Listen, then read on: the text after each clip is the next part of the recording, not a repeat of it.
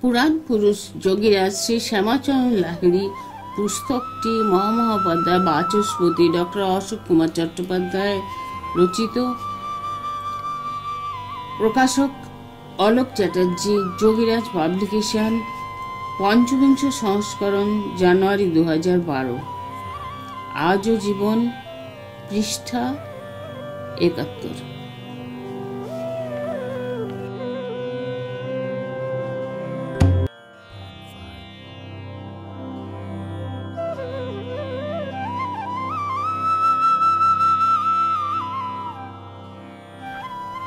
যোগীরাজ কখনো তাহার প্রচার চাহেন নাই। সেই জন্য কখনো তাহার ছবি তুলিতে দিতেন না। একদিন ভক্তরা তাহার ছবি তুলিবেন মনস্থ করিয়া তাহারই ভক্ত সুদক্ষ ফটোগ্রাফার গঙ্গাধর দেখে ডাকিয়া আনিলেন। এইবার তাহারা যোগীরাজের সম্মতি প্রার্থনা করিলেন। যোগীরাজ বলিলেন, ফটো তুলিবার প্রয়োজন নাই। ফটো তুলিলে ভবিষ্যতে তোমরা সাধনা ত্যাগ করিয়া ফটোটিকেই পূজা করিতে শুরু করিবে। কিন্তু ভক্তরা নাছড় বান্দা। তাহারা বারবার অনুরোধ করায় শেষে যোগীরাজের সম্মতি মিলিল।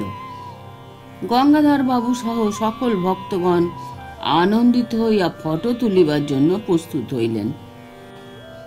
ক্যামেরার সম্মুখে গিয়া যোগীরাজ বালক সুলভ আচরণে ক্যামেরার নানা যন্ত্রপাতি সম্বন্ধে জিজ্ঞাসা করিতে লাগিলেন।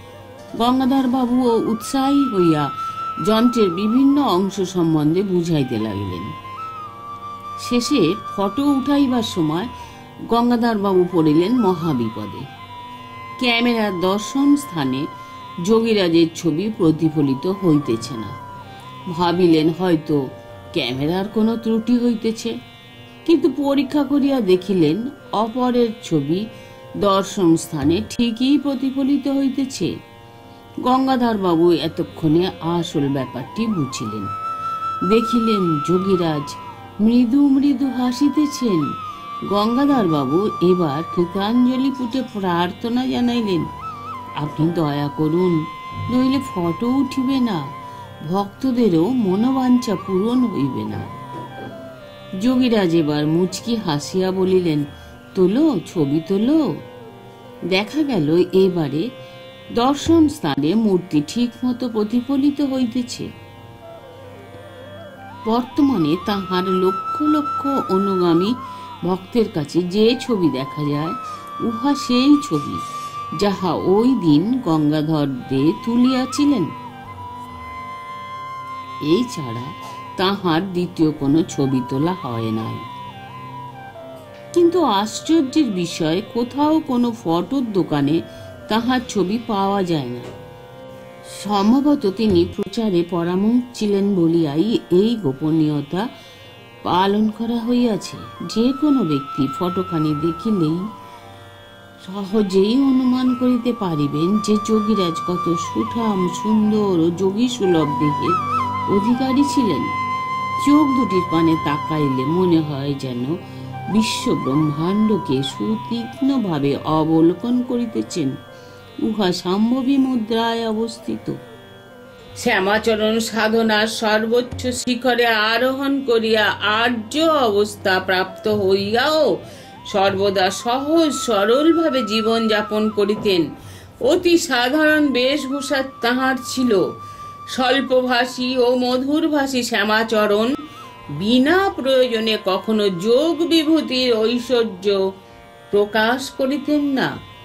নিতান্ত লীলা ছলে অথবা মুমুক্ষ ভক্তদের বিশ্বাসকে দৃঢ় করিবার মানসে কখনো কখনো তাহাকে যোগৈশ্বর্য প্রদর্শন করিতে দেখা গিয়াছে। আধ্যাত্ম শক্তির উৎস রূপে অধিষ্ঠিত থাকিয়াও যোগীরাজ নিজেকে অতি ক্ষুদ্র মনে করিতেন। ভক্তদেরও তাহাই উপদেশ দিয়া বলিতেন নিজেকে ক্ষুদ্র না ভাবিলে আত্মরাজ্যে প্রবেশ করা যায় না। অনেক সময় তিনি ভক্তদের বলিতেন, আমি গুরু নই, গুরু শিষ্যের পাঠ রাখি না। এই সময়ে যোগীরাজ অধ্যাত্ম শক্তির পূর্ণ পাত্র লইয়া পতিত পাবনের ভূমিকা অবলম্বন করিয়া মানব কল্যাণের জন্য অধীরূঢ় ছিলেন। শুধু তাহাই নয়, তাহাকে দর্শন মাত্র। কত মানুষের আধ্যাত্মিক রূপান্তর ঘটিত।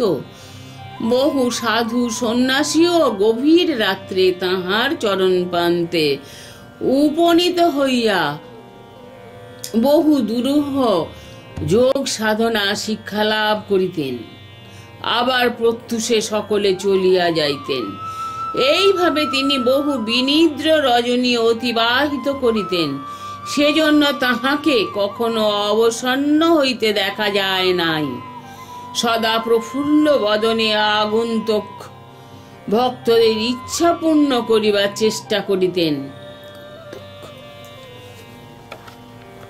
সে সময় তাহাকে দেখিলে মনে হইত যেন করুণার ঘনীভূত মূর্তি। উচ্চ নিচ ভেদাভেদ শূন্য হইয়া অনেক সময় দেখা গিয়াছে। এই মহাযোগী নিজ ভক্তদের খুঁজিয়া বাহির করিয়া তাহাদের প্রতি অহৈতুকী কৃপা প্রদর্শন করিয়াছেন। যোগীরাজের বসতবাটি হইতে অল্প কিছু দূরে গোয়ালা জয়পাল ভগতের দুধ দইয়ের দোকান ছিল। সারাদিন বসিয়া বসিয়া দুধ দই বিক্রয় করিত, আর দেখিত কত মানুষ মহারাজজির নিকটে আসে ও যায়। কত মানুষ তাহার কৃপা পাইয়া ধন্য হয়। মহারাজজির প্রতি জয়পালে গভীর শ্রদ্ধা। জয়পাল ভাবে সে সাধারণ মানুষ মহারাজজি কি আর তাহাকে কৃপা করিবেন, সাহস করিয়া কিছু বলিতে পারে না জয়পাল। একদিন জয়পাল রাস্তা দিয়া যাইতেছেন, হঠাৎ সামনে মহারাজজিকে আসিতে দেখিয়া জয়পাল ভক্তি বিনম্র চিত্তে প্রণাম করিয়া রাস্তার পার্শ্বে সরিয়া দাঁড়াইল। মহারাজজি প্রত্যাভিবাদন করিয়া মৃদু হাসিলেন, বলিলেন, জয়পাল, কাল তুমি আসিবে, তোমার দীক্ষা দেব। জয়পাল ভক্তি সহকারে প্রণাম করিয়া বলিল, মহারাজজির জয় হোক। জয়পাল আনন্দে অভিভূত হইয়া ভাবিতে লাগিল, মহারাজজি ডাকিয়া লইয়া কৃপা করিতেছেন, কিন্তু আমি কি তাহার উপদেশ পালন করিতে পারিব? পরদিন যথাসময়ে জয়পাল উপস্থিত হইয়া দীক্ষা লাভ করিল। পরবর্তীকালে দেখা যায় ওই ছোট্ট দুধ দইয়ের দোকান হইতে জয়পালের প্রচুর অর্থাগম হইয়াছিল। ভক্ত জয়পাল ধনে পুত্রে সমৃদ্ধ সংসার পাইয়াও শেষে সবকিছু পুত্রদের হস্তে সমর্পণ করিয়া সর্বদা জাহ্নবীর তীরে একটি কুটিরে একাকী ধ্যানস্থ হইয়া বসিয়া থাকিত। জয়পাল সাধনার অনেক উচ্চ স্তরে পৌঁছাইতে সক্ষম হইয়াছিল। বাংলাদেশের ভাগীরথী তীরে এক অখ্যাত পল্লীতে ইট নির্মাণ কারখানায় কাজ করিতেন হিতলাল সরকার। সামান্য আয়ে কোনো রকমে সংসার চালাইতেন, কিন্তু পরোপকার করা প্রবৃত্তি ছিল তাহার সহজাত। কোনো গরিব দুঃখী কিছু চাহিলে নিজের ও পরিবারের কষ্টের কথা না ভাবিয়া তৎক্ষণাৎ সাধ্যমতো তিনি তাহা দান করিতেন। হিতলাল সংসারের সবকিছু করিতেন, কিন্তু মাঝে মাঝে তাহার মন যেন কোথায় চলিয়া যাইত। গঙ্গার তীরে হিতলাল চুপ করিয়া ঘণ্টার পর ঘণ্টা বসিয়া থাকিতেন। সব কাজ করিতেন বটে, কিন্তু কিছুই যেন ভালো লাগিত না। কি যেন পাইতে চান হিতলাল, জীবনটা যেন অসম্পূর্ণ রহিয়া গেল। হিতলাল প্রতিদিনের ন্যায় সেদিনও কাজে গিয়াছেন সবকিছু তত্ত্বাবধান করিতেছেন, হঠাৎ তাহার এক ভাবান্তর উপস্থিত হইল। অকারণে চিত্ত অত্যন্ত ব্যাকুল হইল। ভাবিলেন, এখানে থাকিয়া কোনো লাভ নাই, এখনই কোথাও যাইতে হইবে। যাহা ভাবা তাহাই কাজ। কারখানা ছাড়িয়া হিতলাল চলিতে আরম্ভ করিলেন। যেন কোন এক অজানা শক্তি তাহাকে প্রবল আকর্ষণ করিয়া টানিয়া লইয়া যাইতেছে? কোথায় যাইবেন? কি করিবেন? কিছুই জানেন না। মন্ত্রমুগ্ধ হইয়া চলিয়াছেন হিতলাল কিছু সময় পর রেল স্টেশনে উপস্থিত হইয়া দেখিলেন, ট্রেন দাঁড়াইয়া আছে। ট্রেনে উঠিয়া পৌঁছাইলেন হাওড়া স্টেশনে। হিতলালের কোনো খেয়াল নাই। টিকিট ঘরের সামনে গিয়া বলিলেন, একটি টিকিট দিন। টিকিট বাবু জিজ্ঞাসা করিলেন, কোথায় যাইবেন? হিতলাল বলিলেন, এই কয়টা টাকা আছে? ইহাতে যা হয় একটা টিকিট দিন। প্রৌঢ় টিকিট বাবু বুঝিলেন, হয়তো ভদ্রলোক কোনো কারণে মনোবেদনা পাইয়াছেন। তাই তিনি জিজ্ঞাসা করিলেন, কখনো কাশি গিয়াছেন? হিতলাল বলিলেন, না, কখনো কাশি যাই নাই। টিকিট বাবু মৃদু হাসিয়া বলিলেন, তাহলে কাশি যান, এই টাকায় হইয়া যাইবে। বাবা বিশ্বনাথের কৃপায় শান্তি লাভ করিবেন। হিতলাল জানিতেন, কাশিতে বাঙালি টোলা বলিয়া একটি জায়গা আছে। সেখানে অনেক বাঙালি বাস করেন। কাশি রেল স্টেশনে নামিয়া জিজ্ঞাসা করিতে করিতে বাঙালি টোলা অভিমুখে রওনা হইলেন। সরু গলি পথ ধরিয়া হিতলাল চলিতেছেন। ক্লান্ত ক্ষুধার্ত হিতলাল কোথায় যাইবেন কিছুই জানেন না। যেন চলিতে হইবে তাই চলিয়াছেন। হঠাৎ দেখিলেন একটি বাড়ি হইতে সৌম্যমূর্তি এক ভদ্রলোক বাহিরে আসিয়া তাহাকে ডাকিতেছেন। এই যে, এদিকে আসুন। হিতলাল বিস্মিত হইয়া অগ্রসর হইলেন। নিকটে গিয়া বলিলেন, আপনি আমাকে চেনেন না, আমিও আপনাকে চিনি না, তাহলে ডাকলেন কেন? ভদ্রলোক মৃদু হাসিয়া বলিলেন, সে কথা পরে হবে। আপনি ক্লান্ত ক্ষুধার্ত। আগে স্নানাহার করিয়া বিশ্রাম করুন। হিতলাল ভাবিলেন, এই ভদ্রলোক তাহার কষ্টের কথা জানিলেন কি করিয়া? হিতলালের জন্য স্নানাহার ও বিশ্রামের যথোচিত ব্যবস্থা হইল। বিশ্রামান্তে অন্যান্য লোকের সহিত আলাপ করিয়া হিতলাল জানিলেন ইনি সেই মহাত্মা যোগীরাজ শ্যামাচরণ লাহিড়ী ইতিপূর্বে তিনি তাহার নাম শুনিয়াছিলেন মাত্র। এমন সময় যোগীরাজ নিজ ঘরে হিতলালকে ডাকিয়া পাঠাইলেন। বলিলেন, আপনার দীক্ষা লাভের সময় উপস্থিত হইয়াছে, তাই আমিই আপনাকে আনিয়াছি। হিতলাল লুটাইয়া পড়িলেন যোগীরাজের চরণ তলে। মহাযোগীর কৃপা লাভ করিয়া ধন্য হইলেন হিতলাল। যোগীরাজের প্রতিবেশী এক যুবক চন্দ্রমোহন দে। সবে মাত্র ডাক্তারি পাশ করিয়া বাড়ি ফিরিয়াছেন। চন্দ্রমোহন ছিল রামমোহনের ভ্রাতা। একদিন চন্দ্রমোহন আসিয়া যোগীরাজকে প্রণাম করিয়া আশীর্বাদ প্রার্থনা করিল। তিনি আশীর্বাদ করিয়া আধুনিক চিকিৎসার নানা বিষয়ে জিজ্ঞাসা করিতে লাগিলেন। চন্দ্রমোহন নতুন ডাক্তার হইয়াছে। উৎসাহের অন্ত নাই আধুনিক চিকিৎসা বিজ্ঞানের নানা দিক তাহাকে বুঝাইতে লাগিলেন। যোগীরাজ জানিতে চাইলেন চিকিৎসা বিজ্ঞানের মৃতের সংজ্ঞা কি? মৃতের যাহা সংজ্ঞা, চন্দ্রমোহন তাহা বুঝাইয়া বলিল, কৌতুক ভরে মৃদু হাসিয়া যোগীরাজ বলিলেন, আমাকে পরীক্ষা করিয়া দেখো তো চন্দ্রমোহন, আমি জীবিত না মৃত? চন্দ্রমোহন পরীক্ষা করিয়া দেখিয়া অবাক হইলেন, দেহে প্রাণের চিহ্ন মাত্র নাই, হৃৎপিণ্ড স্তব্ধ। চন্দ্রমোহন কি বলিবে ভাবিয়া পায় না? হঠাৎ যোগীরাজ মুচকি হাসিয়া বলিলেন, তাহলে চন্দ্রমোহন, আমাকে একটা ডেথ সার্টিফিকেট লিখে দাও। চন্দ্রমোহন আরও বিপদে পড়িল, কি উত্তর দেবে চিন্তা করিতেছে। অকস্মাৎ চন্দ্রমোহনের মাথায় এক বুদ্ধি খেলিয়া গেল। চন্দ্রমোহন বলিল ডেথ সার্টিফিকেট লিখিয়া দিলাম কিন্তু আপনি যে কথা বলিতেছেন, মৃত ব্যক্তি তো কথা বলিতে পারে না। যোগীরাজ হাসিয়া উঠিলেন, বলিলেন, ঠিকই বলেছ। কিন্তু জেনে রেখো তোমাদের আধুনিক বিজ্ঞানের ঊর্ধ্বে আরও অনেক কিছু জানার আছে।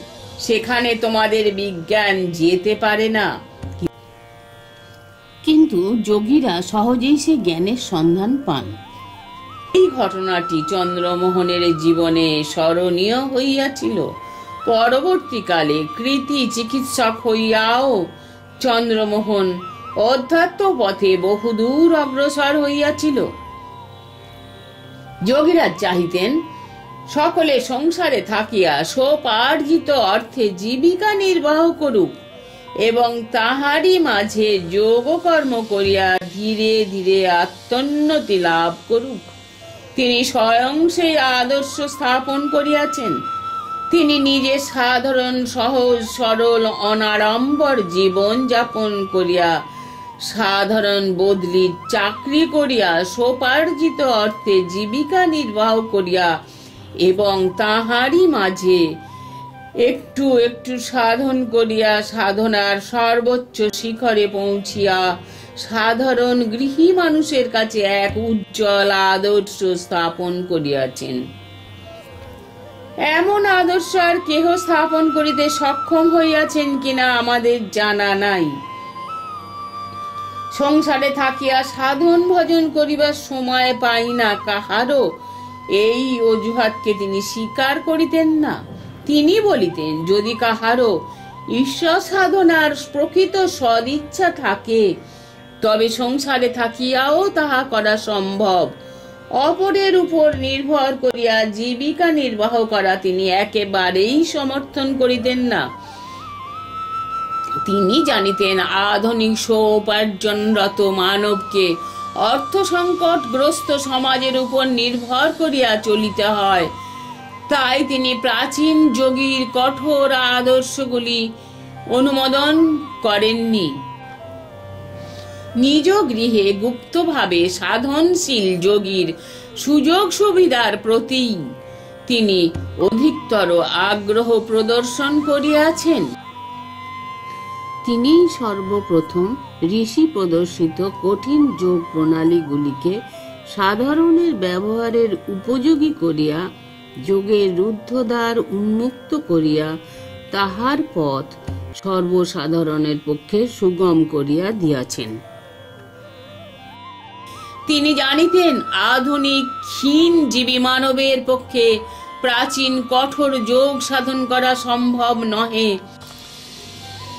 তাই তাহার প্রাচীন জটিলতা দূর করিয়া সাধারণের পক্ষে প্রত্যক্ষ ফলপ্রদ, সহজসাধ্য, অনাড়ম্বর, সরল যোগ সাধনে পরিণত করিয়াছেন। তাহার এই প্রয়াসের পূর্বে ভারতীয় প্রাচীন কঠোর যোগ সাধন সাধারণের নিকট অসম্ভব বলিয়া প্রতীয়মান ছিল। এই যুগে তিনি সর্বপ্রথম এই কঠোর প্রাচীন যোগ সাধনকে সর্বসাধারণের উপযোগী করিয়া দেশের যে মঙ্গল সাধন করিয়াছেন, তাহা মানব সমাজ কোনো দিনই ভুলিবে না। তাহার এই প্রয়াস মানব সমাজকে আত্মানুসন্ধানের জন্য আরও উচ্চ স্তরে উন্নীত করিয়া দিয়াছে। আজ আর যোগ সাধন গৃহস্থ মানব সমাজের কাছে কোনো কঠিন কর্ম নহে। আমাদের প্রাচীন ঋষিগণও সকলেই যোগসিদ্ধ মুক্ত পুরুষ ছিলেন। তাহারাও সংসারে থাকিয়া বিবাহিত জীবন যাপন করিয়া বর্ণাশ্রমের বিধি অনুসারে যোগযুক্ত অবস্থায় সকল কর্ম করিয়া গিয়াছেন ইহাই ভারতীয় সংস্কৃতির ধারা। গৃহী যোগী শ্যামাচরণ বলিতেন, বর্তমান কালের মানুষের পক্ষে ভক্তি পথে সাধন করা বড়ই কঠিন। সমস্যা জর্জরীভূত সমাজে, আধুনিক বিশ্বাসবিহীন বিলাসবহুল সমাজে তেমন ভক্তিমান ব্যক্তি খুবই কম। তাই তিনি সহজ, সরল, আড়ম্বরহীন যোগ সাধনের প্রতি মানবকে আকৃষ্ট করিয়া বলিতেন, এই যুগোপযোগী সহজ যোগ সাধন গণিত শাস্ত্রের ন্যায় একেবারে অভ্রান্ত। জাতি, ধর্ম, সম্প্রদায় নির্বিশেষে যে কোনো মানুষ ইহা করিতে সক্ষম। মানব প্রেমিক শ্যামাচরণ এইভাবে সামাজিক মঙ্গল সাধনে ব্রতী ছিলেন। তখনকার দিনে জাতিভেদ প্রথা বড়ই প্রবল ছিল। যোগীরাজ উচ্চ ব্রাহ্মণ সন্তান ছিলেন। তৎকালে কোনো ব্রাহ্মণ সন্তানের পক্ষে জাতিভেদ প্রথা না মানিয়া চলা বড়ই কঠিন কাজ। এহেন কর্মে তেমন ব্যক্তিকে সমাজ শাস্তি প্রদান করিতে কিছুমাত্র কৃপণতা করিত না। ইহা সত্ত্বেও দেখা যায় যোগীরাজ সাধন ক্ষেত্রে জাতিভেদ প্রথা গ্রাহ্য করেন নাই। পরিগণিত বর্ণের রামপ্রসাদ জসওয়াল ওকালতি করিতেন। যোগীরাজ সমক্ষে যে সমস্ত ভক্তরা বসিয়া উপদেশ শ্রবণ করিতেন, তাহাদের মধ্যে অনেকেই ব্রাহ্মণ ছিলেন। রামপ্রসাদও তাহাদের পার্শ্বে বসিয়া প্রতিদিন উপদেশ শ্রবণ করিতেন। রামপ্রসাদের এই আচরণে ব্রাহ্মণগণ অসন্তুষ্ট হন এবং একদিন প্রকাশ্যে তাহা বলিয়াও ফেলিলেন, কিন্তু যশোয়াল কোনো প্রতিবাদ না করিয়া ভক্ত সুলভ চিত্তে নীরব রহিলেন। কিছু সময় পর যোগীরাজ যশোয়ালকে ডাকিয়া বলিলেন, আমি যে আসনে বসে আছি, তুমি এখানে বসো। এই বলিয়া তিনি নিজ আসন হইতে কিছুটা সরিয়া গেলেন। যশোয়াল বড়ই কুণ্ঠাবোধ করিতে লাগিলেন। গুরু মহারাজের আসনে বসিবেন, ইহা কেমন করিয়া তাহার পক্ষে সম্ভব? উপস্থিত ভক্ত শিষ্যদের মধ্যে হইতে রায় বাহাদুর গিরিশ প্রসন্ন লাহিড়ি মহাশয়, যিনি উক্ত বিষয়ে অধিকতর আপত্তি প্রদর্শন করিয়াছিলেন। তিনি যোগীরাজের এই আদেশে অত্যন্ত লজ্জিত হইয়া নিজ গুরুর নিকট ক্ষমা প্রার্থনা করিলেন এবং যশোয়ালকে নিজ পার্শ্বে টানিয়া লইয়া বসাইলেন।